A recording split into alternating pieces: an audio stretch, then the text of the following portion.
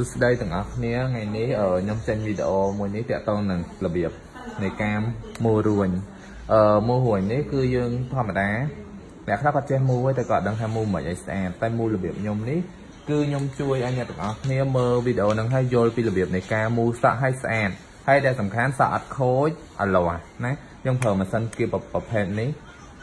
ក្តៅទាំងក្រៅទាំងក្នុងប៉ុន្តែត្រូវប្រើល្អដើម្បីវាអត់តាក់អត់ស៊ីសក់ភ្ញៀវ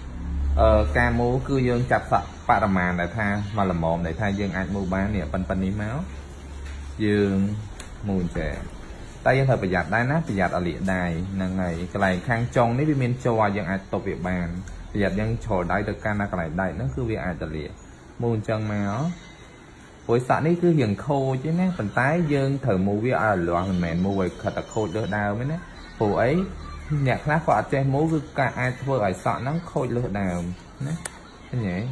យើងមូនេះឃើញទេសក់គឺចេញមកគឺអាលាស់មិនមែនចេញមកស្អិតស្អិតទេណាគឺអាលាស់បែបហ្នឹងខ្ញុំមូតទៀតឲ្យមើលចឹងពួកយើងមើលទាំងអស់គ្នាសម្រាប់អ្នកដែលថាចេះមូហើយតែមូអត់តន់ស្អាតមើលវីដេអូទាំងអស់គ្នាដឹងហើយថាការមូរួញមូរបៀបម៉េចឲ្យឃើញស្អាត គឺយើងដៃខាងស្ដាំគឺយើងកាន់ម៉ាស៊ីនគៀបដៃខាងឆ្វេងគឺយើងតុបកតុយសក់អញ្ចឹងមកឃើញទេហើយយើងបវល់មកចុងចុងកតុយសក់យើងបវល់ណានិយាយទៅអីនិយាយទៅសក់ចង់និយាយថាចេះសក់ទោះបីជាសក់វែងឬក៏សក់ខ្លីប្រវែងណាក៏ដោយក៏យើងអាចអឺ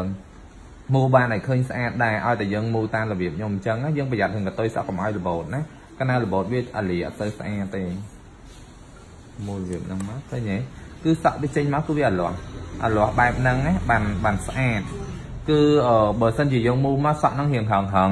ឆ្កើតឆ្កើតចាប់ម៉ូតក៏ស្អាតតម្លាក់ក៏ស្អាតដែរយល់ទេអ្នកទាំងអស់គ្នាហ្នឹងហើយខ្ញុំមូមួយទៀតឲ្យមើល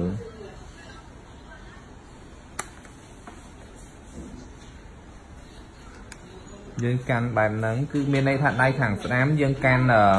ម៉ាស៊ីនដៃខាងឆ្វេង យើងតបកតុយសក់កុំឲ្យរបូត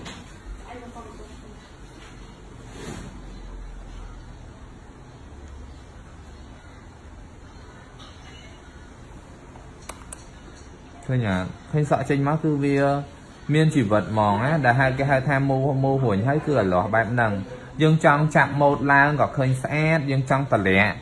ហើយក៏វាឃើញស្អាតហើយដែលសំខាន់មូបែបហ្នឹងគឺវាជាប់បានយូរហើយអត់ខូចសក់ មិនមែនថាមូតតែជាប់បានយូរគឺតតែបាញ់សប្រៃឲ្យរឹងឬក៏មូដាក់ម៉ាស៊ីនកម្ដៅឲ្យក្ដៅខ្លាំងទេប៉ុន្តែឲ្យតែយើងចេះរបៀបមូគឺមូបែបហ្នឹងគឺជាប់បានយូរហើយអញ្ចឹងវីដេអូប៉ុណ្ណឹងវីដេអូហ្នឹងខ្ញុំបញ្ចប់ប៉ុណ្ណឹងអរគុណច្រើន